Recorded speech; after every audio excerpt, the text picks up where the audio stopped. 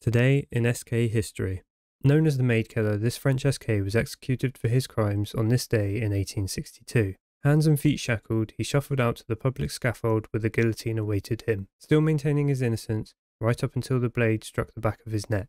His head was given to a medical school where they preserved the skin, which you can still go and see for yourself as it is displayed in a Lyon museum.